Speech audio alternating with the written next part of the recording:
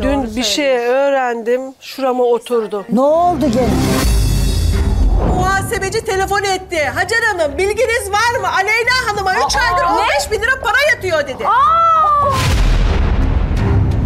Daha sen bana gelin gelmemişsin etmemişsin. Niye yatırayım ben sana o parayı?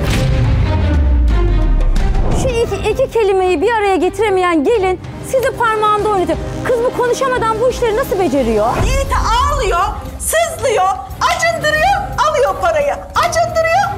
parayı. Bu fikri bana oğlum verdi. Sana dedi ayda dedi 15 bin lira vereceğim. Doya doya harca dedim. Ağla iki damla gözyaşı bin lira, üç damla gözyaşı beş bin lira.